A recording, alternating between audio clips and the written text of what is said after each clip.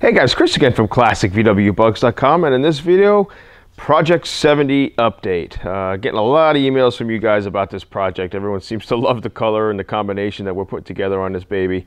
And uh, people have been just asking me how the, the top installation is going, if I'm going to be making a how-to on this or not. Um, I plan on making a how-to. With this top, I don't know. It might be the next Beetle. Uh, again, this is my first uh, attempt at doing a convertible top. Uh, I used to job this out, but it just seems like uh, uh, standard convertible top installation shops out there don't necessarily know all the ins and outs of a Beetle top installations. They go along the lines of standard top installations. So sometimes their the measurements are off and things like that. And it doesn't come out just right. Uh, so I wanted to do this myself and get this to come out right. Now, as you can see, we have basically the frame is ready to start getting uh, padding, upholstery, headliner, top, all that stuff to start making this magic come alive. Uh, and as you can see, you know, in my past videos, we did uh, media blast this, this frame with some uh, power washing and steam, painted it up just with a jet black, and we got wood bows. Uh, I've been told to always go with the wood bows. The synthetic bows do not hold up well with staples over time, and staples start to come out because you do have to staple much of the headliner to these areas like you see here. Now you can get these wood bow kits online. Uh, CIP1.com has some wood. Um, you also have uh, Wolfsburg West, but Chuck's Convertible Parts is probably the place to go to get the whole kit. He sells a whole entire kit together okay, which is what you're going to want to get. Um, and also you're going to want to get the hardware uh, that you need to fasten the wood down, okay? He gives you all new hardware, and what's nice is he puts all the hardware in labeled baggies, so you know exactly, uh, you know, which, where to put what. Um, now, the thing I will tell you is, and I got a good uh, heads up on this from uh, Carol at SoFine Products, which I love SoFine, is that she told me the wood is not going to be shaped exactly like it's supposed to be. So there's going to be a lot of shaping you're going to have to do to get this all to fit right. Okay, so the, we had an issue with wood, the wood back here. The holes did not line up with the holes in the body, so we had to drill new holes in the body. Okay, the, the front header bow here was jutting out, was sticking out much further than it was supposed to. All right, so see, you see it here, it's nice and smooth. It's even with the line here uh, from the metal frame. So we had to get that all right. It had to be shaped correctly around here. This, we had to put a belt sander to a lot of the wood pieces to get them to be shaped correctly and to work. And uh, that took us a few days, I think even close to a week of working the wood to get it to fit right, which is remarkable. And then after that, of course, we seal it with like a shellac or something, or like a Thompson's water seal if you want to use something like that just to seal the wood. Um, but yeah, it's um, my, my, my shop actually smelled more like a wood shop than it did of a, an automotive shop because of sanding all this wood down to get it to be shaped correctly in the contours of it with the car. Now, as far as information, informational how-tos on this subject, here is where I am in a bit of a pogrom, or what do they call it? A uh, caught in a you know what I mean. I'm trying to find the right how-tos uh, to basically follow to get this together. Now, would you believe I have four, four how-tos that I have come across to show how to install the convertible top on a Beetle.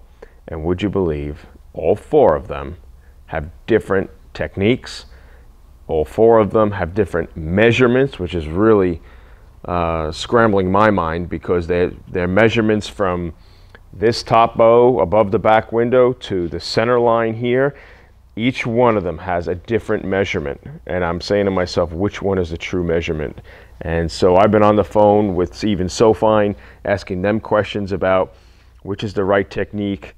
So let me go over with you where I got some of my informational stuff and uh, how you can possibly go about you know, doing your own top um, and not be in the dark. But uh, I guess you know, got we got to find a happy medium somehow with these how-tos out there, and uh, and really see what what is the right way. So basically, let's come over here to my computer. Now, back in the day, I ordered, there used to be a company called Revolx.com, and I have this convertible top installation. It's a CD-ROM. I mean, it's basically set up almost like a Windows 95, Windows 98 setup. It's a CD-ROM, and it's more web-based, and it's a lot of reading. Um, he does have some videos in the CD-ROM. So what I'm going to show you here, I'm just going to minimize this for a second. Here's my computer screen. Now I got, I saved this to my computer. I got the Revolx folder. And so you click on this and it comes up as like an HTML web page sort of CD-ROM. And so I've been following this uh, to basically learn how to put this top together. Now he's got pictures on the sides here. You click on the pictures, they get a little bit bigger. You can see some more detail. Um, and then he does have some video. But when you click on the video, the quality is really not the greatest. I mean, it's really small stuff like you can see. Um, I mean, you can blow it up, but the, it, the quality is not that great. But um, so I've been following that. Now, I did learn from this guy uh, early on to do ragtop headliner. He has a ragtop headliner CD-ROM, and I learned techniques from there. And then uh, I made my own how-to for ragtop headliner installation. So this is pretty good. So I've been reading this. It's pretty extensive. It's very detailed. But again, like his, some of his measurements are different from others. And this is what's scaring me. And the, the, uh, the big measurement issue I have is when it comes down to the back window again, so let me scroll down here, he has a diagram here, okay, of what the distance between you know, with the where the window's supposed to be placed, where the bows are supposed to be placed, and whatnot. I mean, I guess in general, it's going to probably work. It seems like it's worked for him, but there's also on YouTube, if you do a search for, if you can see up there, convertible top installation, the really the only good one on YouTube is this one right here, the top one here with this yellow beetle. It's Marla, plain and small. It's about a almost a 35 minute video, and that's pretty good.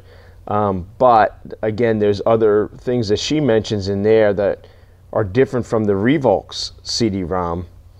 Um, some of her measurements I, I don't quite agree with as opposed to say um, what the Revolx said or what some manuals have said.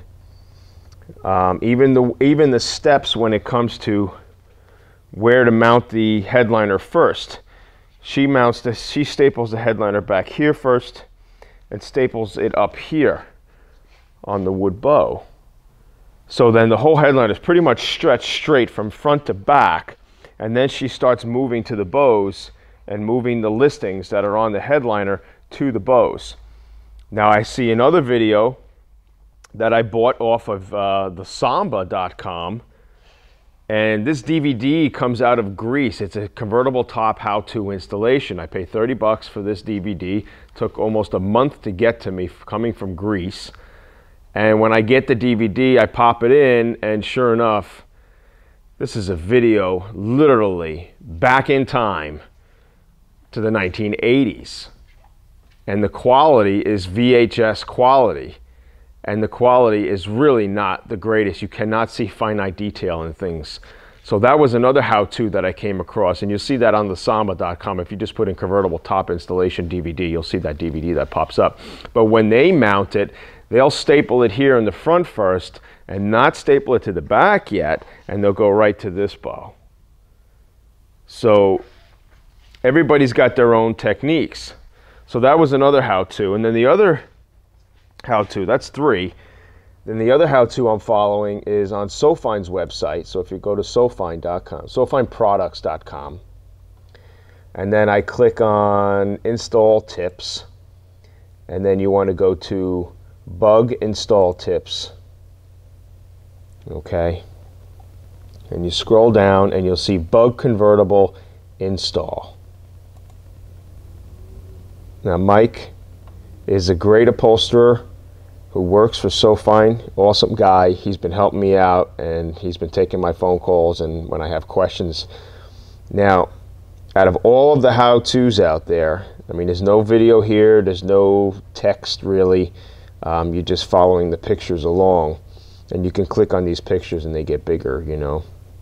But at least out of all of the how-tos, his is the only one that shows the inside of the cabin and showing how straight the headliner is. All the other videos very pretty much glance over what the inside headliner is supposed to look like. His is the most taut without wrinkles and looks beautiful.